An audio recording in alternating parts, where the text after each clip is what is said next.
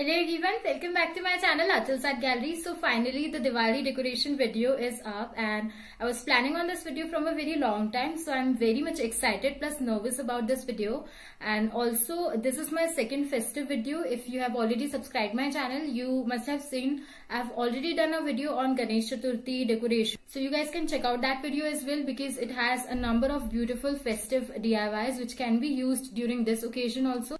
So in this video, I'm not only going to share new ideas with you people, but I'm also going to utilize previous DIYs which I have done in my earlier videos. So in case you haven't seen them yet, I'll be providing their link in my description box. So don't forget to check them out. And now without wasting any more time, let's get started. For this very first reusable rangoli, all you need is such cardboard. Firstly, make a circular shape like this along with a petal. Now cut them out carefully after that you need to trace this petal shape and make 3 to 4 more such petals according to the measurement of your circle. I only required 4 more such petals. Now arrange it in this pattern. Once it looks perfect after that take any color glitter foam sheets. Trace these shapes. Cut them out. And after cutting them out you have to stick them using any glue so this step was really very quick and I completed it in about 5 to 10 minutes.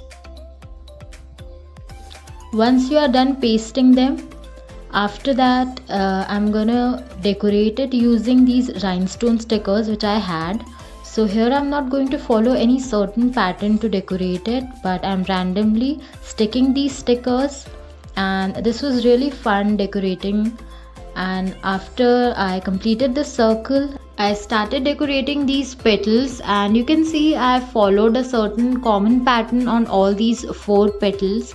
So in case you guys don't have such rhinestone stickers you can even use uh, colored stones and different color beads to decorate it and it is done you can see how easily effortlessly and quickly I made this I personally feel it is one of the best hack for such festive season and in case you are in a hurry and you don't have enough time to make rangoli every day you can use this for sure.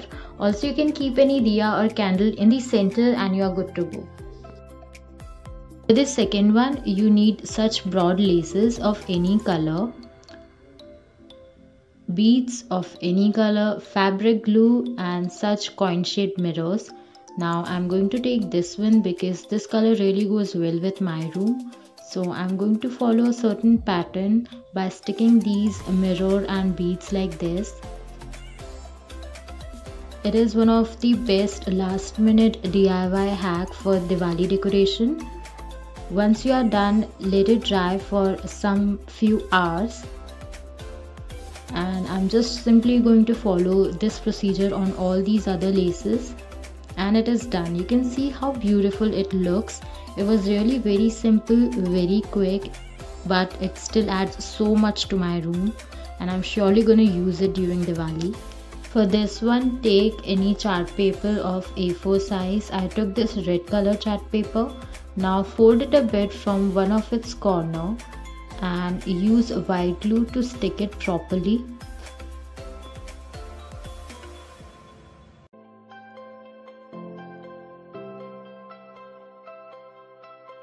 Now fold it inwards like this. After folding it, press it properly from the corner. Now again you have to use white glue and you have to paste it inwards like this. Once it is dried, cut it out. After cutting it out, you have to cut such small uh, petals you can say and you need not to be very precise about its width but just keep them all in a very particular measurement of at least equal size. For pasting them permanently, try and arrange them in a circular manner to see how you really want to paste them and here I'm using two different color petals as you can see. So I'm going to use it to decorate my center table. I'm going to place different diyas and fancy candle in the center to give it a really very festive look and also if you want to know how I made these water candles you can check it out I will be providing its link in my description box In case you have already seen Ganesh Chaturthi decoration video, you must have seen this pink bangle diya which I have made in that video. Also, I'll be providing its link in my description box in case you want to see how I made it. And in the similar manner, I'm going to make this one also. So all you need to do is keep any diya or candle in the center and it is ready. And for this last paper lantern, you need such A4 size paper make such lines of 1 centimeter from uh, top and bottom and also in between. Now cut these center lines using any blade or cutter.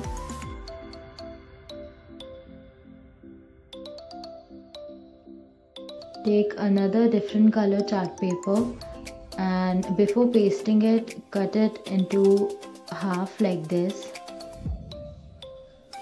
Now you have to apply glue on the top and bottom area.